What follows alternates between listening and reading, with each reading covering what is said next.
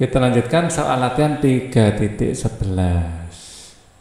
Via memerlukan waktu 24 second. Jadi ini T untuk ya menaiki sebuah tangga dengan ketinggian 6 meter.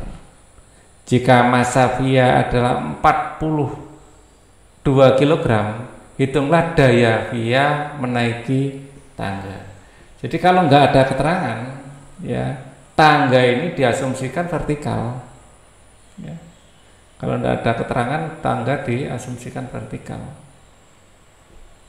Naiki tangga. Ya.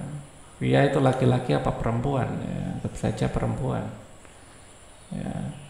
Jadi via memerlukan waktu dari sini sampai ke sini sampai naik di atas ya di sini T sama dengan 24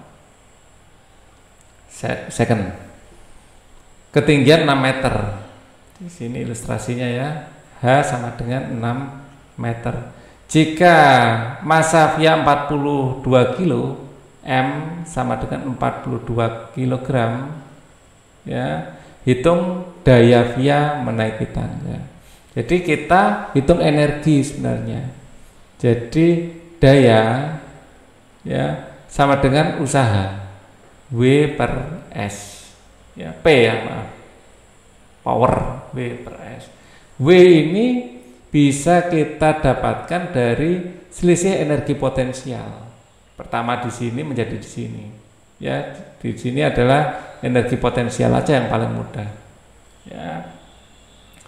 Uh, dibagi waktu ini bukan S ya T T maaf PW per T. Ya energi potensial per T. Energi potensial adalah MGH per T. Masanya adalah 42 gravitasinya kalau nggak ada keterangan kita anggap 10 ketinggiannya adalah 6 dan waktunya adalah 24 42 maaf eh mana?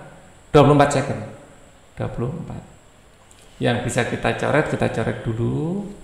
24 dan 6 ya ini dapat 4 ya. 42 dibagi 4 ya, ya 42 dibagi 4 berapa itu?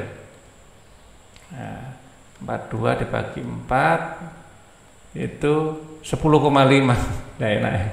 42 bagi 4 10,5 10,5 10,5 kalau dikalikan 10 ya 105 ya sesuai dengan kunci. Dan satuannya di sini eh, daya. Daya itu watt sekali lagi watt.